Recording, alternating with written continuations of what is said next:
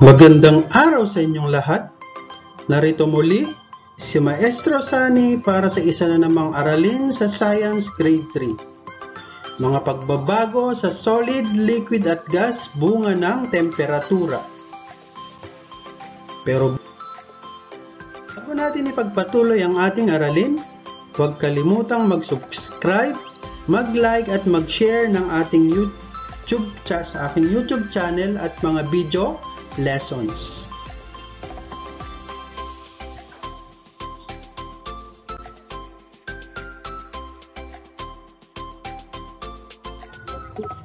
Science Grade 3, mga pagbabago sa solid, liquid at gas bunga ng temperatura.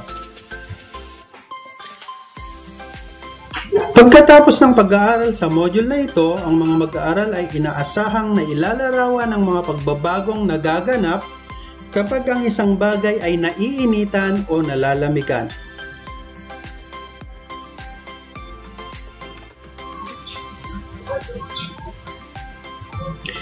Sa araling ito ay matutuhan mo ang mga pagbabagong mangyayari sa solid, liquid at gas.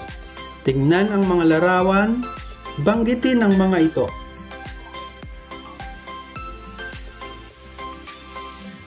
Okay, mga pagbabagong anyo ng mga bagay sanhi ng temperatura.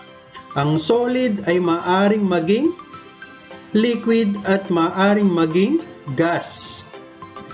Ang gas ay pwede ring maging liquid at ang liquid ay pwedeng maging solid.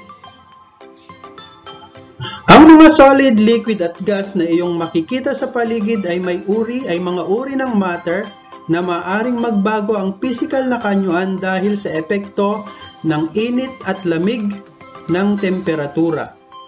Ang mga malalamig na bagay katulad ng paborito mong sorbetes ay may mababang temperatura. Ang mga mainit na bagay naman na kagaya ng mainit na kape na iniinom mo sa malamig na umaga ay may mataas na temperatura. Ang thermometer ay kagamitan sa panukat ng temperatura ng bagay. Ito ay isinusulat sa degree, degree Celsius o centigrade at Fahrenheit. Basahin at pag-aralan ng maikling kwento. Pagkatapos ay sagutin natin ang mga tanong. Isang araw ng Sabado, Mainit ang panahon. Nasa labas ng bahay ang magkapatid na Kim at Sofia. Masaya silang naglalaro at minsan ay naghahabulan pa. Hanggang sa sila ay mapagod.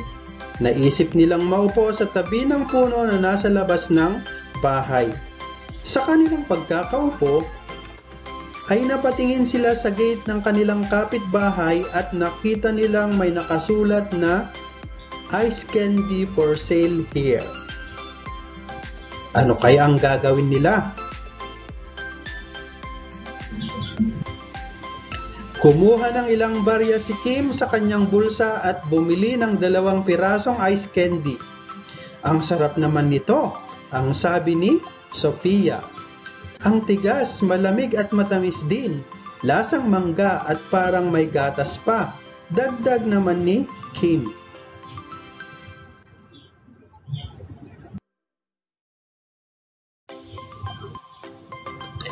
Nang sumunod na araw ay naisipan nilang gumawa ng sariling ice candy. Nagpaturo sila sa kanilang nanay kung paano gumawa nito. Naghanda sila ng apat na baso ng tubig, isang tasa ng asukal at gatas na evaporada at hiniwang maliliit na mangga bilang flavor. Pinagsama-sama nila ang mga ito at hinalo. Pagkatapos, inilagay nila sa plastik ng ice candy. Sinabi ng nanay nila na ilagay nila ito sa freezer para sa susunod na araw ay pwede na nilang kainin. Okay, mga gawain sa pagkatuto bilang 1. Isulat ang mga sagot sa sagutang papel. Nasa anong anyo ng matter ang biniling ice candy ng magkapatid na Kim at Sofia? Ano ang liquid na ginagam ginamit ni Nakim at Sofia sa paggawa ng ice candy? Ano ang ginamit na solid sa paggawa ng ice candy? Paano nagbago at naging solid ang ice candy? Anong klaseng temperatura ang kailangan upang ang liquid ay magbago tungo sa pagiging solid? Okay, mga pagbabagong nagaganap sa solid, liquid at gas. Ang physical na anyo ng liquid, solid at gas ay maaaring magbago kapag naiinitan o nalalamigan.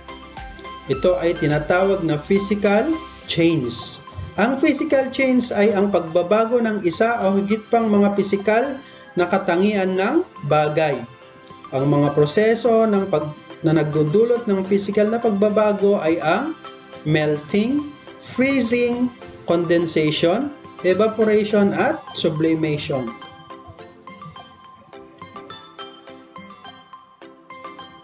Ito ang halimbawa ng melting from solid to liquid. Halimbawa, natunaw na tsokolate at natunaw na sorbetes. So yung pagig simula sa pagiging solid, ito ay magiging liquid. Kung ang temperatura ay mainit, ang ilang solid ay natutunaw at nagiging liquid. Ang proseso ito ay tinatawag na melting. Isang halimbawa nito ay ang sorbetes na natunaw, ice candy na natunaw at tsokolate na natunaw. Ang melting ay isang proseso ng pagbabago mula solid patungo liquid. Ang mataas sa temperatura na nakaaapekto ng pagbabagong pisikal ng solid. Maliban sa sorbetes, mayroon ding karaniwang bagay na natutunaw dahil sa init tulad ng tsokolate, mantekilya at yelo.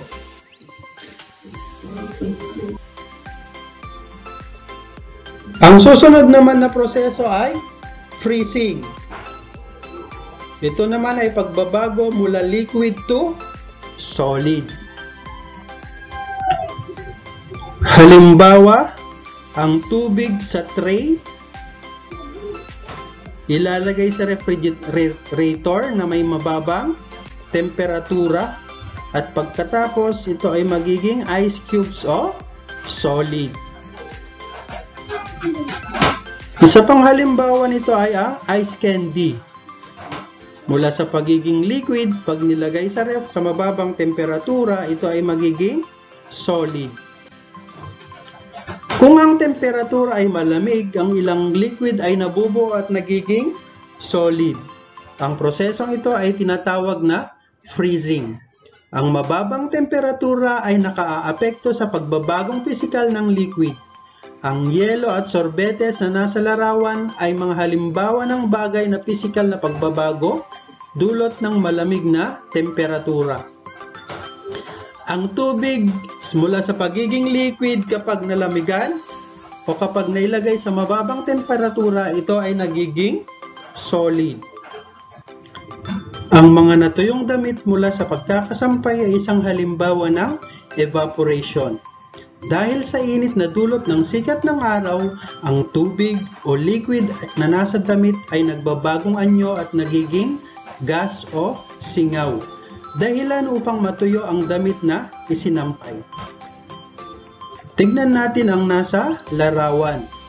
So yung tubig na nasa basang damit, sisingaw o magiging gas. Kaya ang mga damit na sinampay ay matutuyo.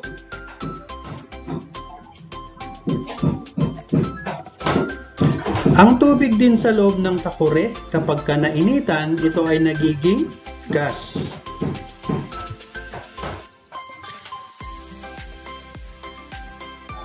Condensation naman ang pagbabagong nagaganap mula gas sa pagiging liquid. Ito ay may baso na may malamig na tubig. Yung singaw, dahil mainit yung ah, malamig yung tubig, sumisingaw at nagiging tubig.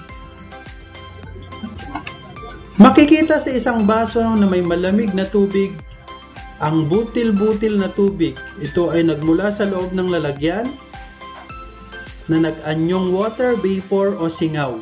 Ang singaw o water vapor ay nasa anyong gas at nagiging liquid kapag ito ay lumamig. Ito ay nabubuo dahil sa mainit na temperatura at mabilis ding bumabalik sa pagiging liquid kung malamig ang temperatura. Ang prosesong ito ay tinatawag na condensation. Ang condensation ay isang proseso ng physical na pagbabago na kung saan ang gas ay nagiging liquid. Ang malamig na temperatura ang lubos nakakaapekto sa pagba pagbabagong physical ng gas. Ang prosesong sublimation ang pagbabagong physical na anyo ng solid patungong gas na hindi dumadaan o suma- sumasailalim sa pagiging liquid.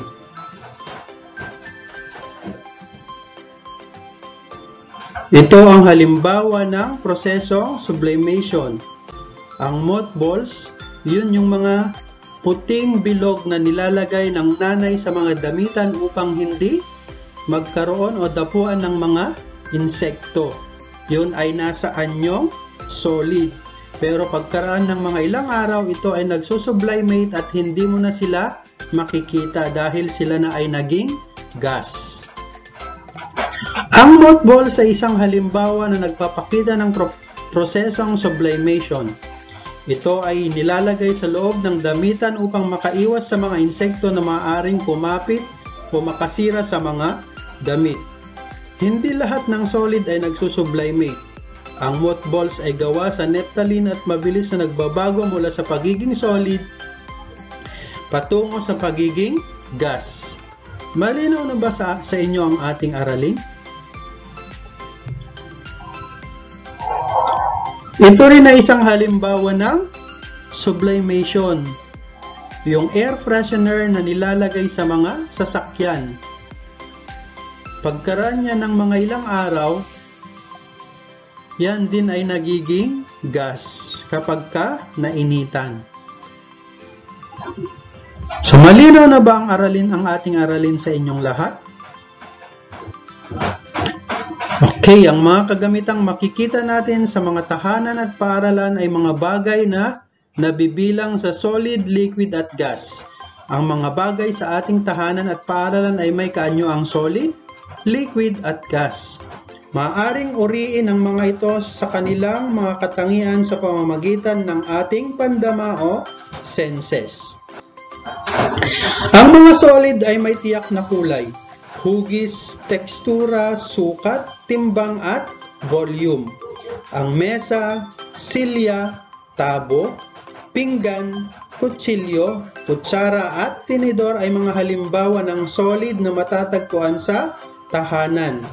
Ang aklat naman, pisara, lapis, ballpen at armchair ay mga halimbawa naman ng solid na matatagpuan sa paaralan. Ang liquid na maaring mabagal, mabilis o napak napakabilis ng daloy. Ang liquid ay walang tiyak na hugis. Sinusundan nito ang hugis ng lalagyan. Ito ay may volume, iba't ibang lasa at amoy. Ang tubig, alcohol, juice, toyo, mantikilya at ketchup ay mga halimbawa ng liquid na maaaring matagpuan sa tahanan at paaralan. Tingnan ang chart ng mga hugis, tekstura at kulay para magamit ito sa paglalarawan ng mga solid, liquid at gas kapag ito ay nagbabago.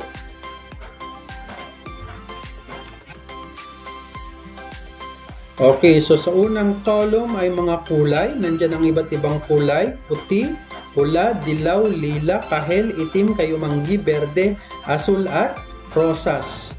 Sa pangalawang column naman, mga hugis kagaya ng bilog, oblong, tatsulok, parihaba, parisukat, pentagono, hexagono at oktagono. At sa ikatlong column ay mga tekstura, malambot, matigas, madulas at magaspang.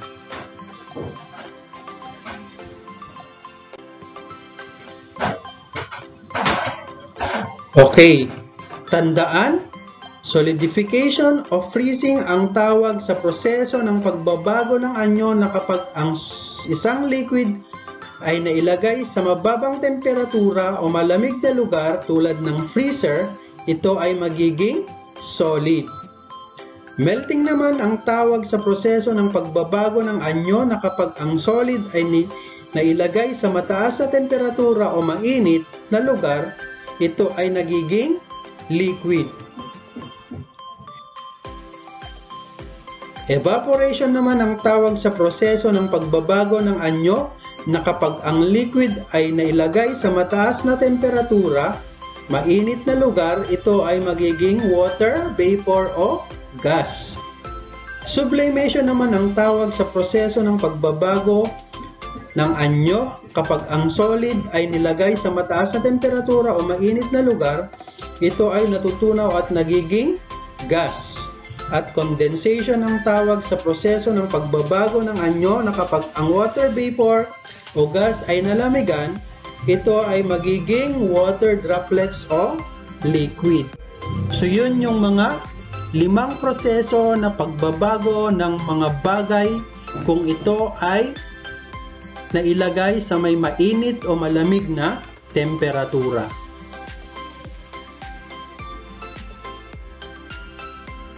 Dahil dyan, ating subukin ang kung kayo ay may natutunan sa ating aralin sa araw na ito. Tignan ng mga larawan, alin sa mga sumusunod na larawan ang solid, liquid at gas. So alin dyan ang solid, liquid at gas. At alin sa mga yan ang pwedeng maging liquid, pwedeng maging gas, at pwedeng maging solid.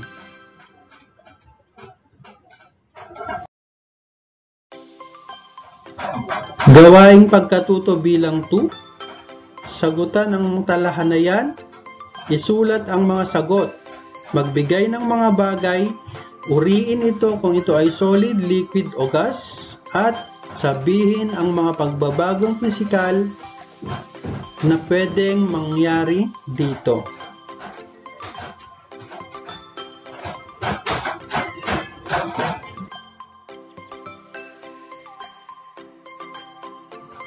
Okay, ang ating mga sanggunian sa aralin, Science Grade 3, Pivot 4A, Learner's Material First Quarter 2020 Edition, De Jesus Esperanza Science Module 3, Balatayo Mevin, Instructional Material in Science 3, Science and Health, Let's Explore Science for Daily Use, and Science Module 3, na lahat ay matatagpuan sa lrmds.depged.gov.ph.